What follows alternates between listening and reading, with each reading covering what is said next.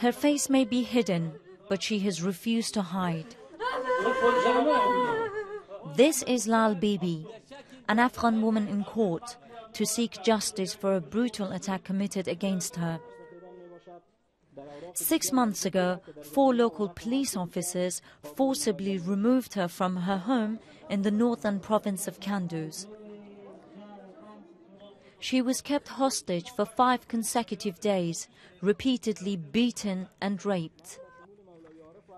It may not be the first time that a rape trial has been held in Afghanistan, but it is the first time the country's media has held such an unflinching gaze on the case. Victims of sexual abuse rarely speak out, as the social and cultural implications of rape could have serious repercussions on their lives. Unfortunately, public response in Afghanistan is always several steps ahead of judicial action. When women's issues are raised in Afghanistan, they are treated according to common social norms and traditions. Local councils tend to resolve these issues even though their members usually lack Sharia or legal knowledge. They are not even trained. Usually, these councils have no female members, and this is the source of injustice against women. Sahar Gol is another victim of abuse.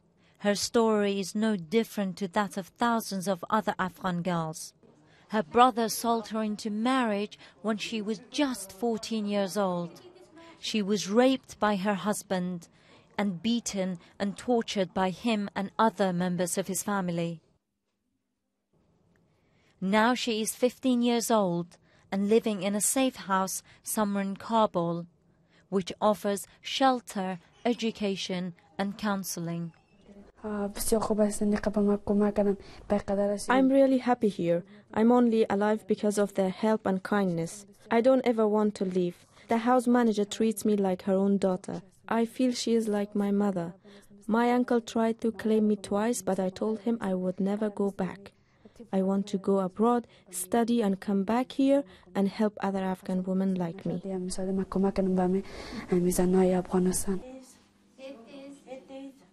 Even though her husband is on the run, his father, mother, and sister have each been sentenced to 10 years in prison for the part they played in her torture.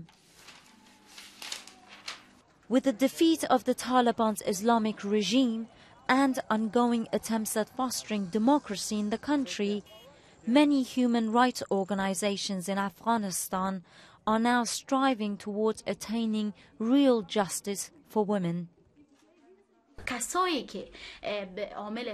Culprits are not brought to justice. In the cases I'm familiar with, almost all of the offenders are on the run. It's really easy for them to run.